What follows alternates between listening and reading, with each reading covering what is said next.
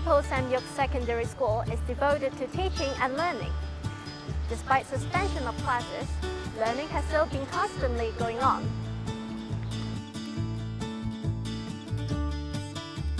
Teachers and students have been working together from the safety of their homes, committed to imparting and acquiring knowledge. Despite various disruption in classes being suspended during this academic school year, the school was more than ready to handle learning at home.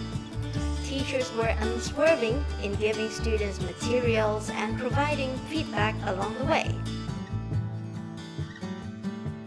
A viable teaching schedule was set up quickly to implement a school away from school mode.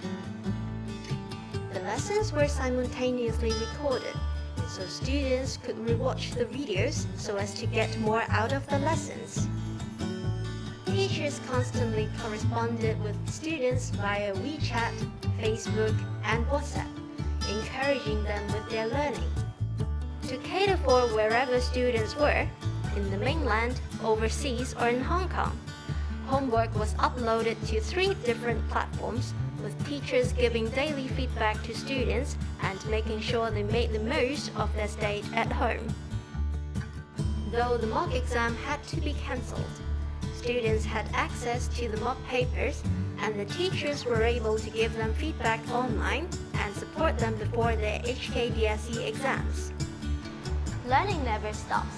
Our teachers' commitment to this, as well as students yearning to learn, have not been dampened despite the hold-up to be physically at the school campus of TPSY.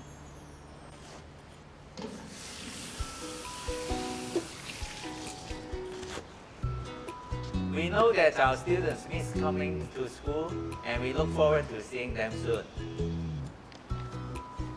The virus will keep us from continuing with our education.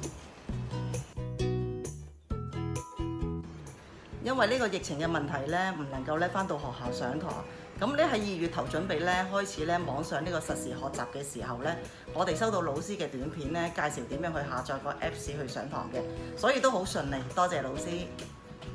上課前半個鐘咧都會收到學校老師發嚟嘅信息提醒上課，仲有咧每日都會收到老師發嚟嘅考勤表。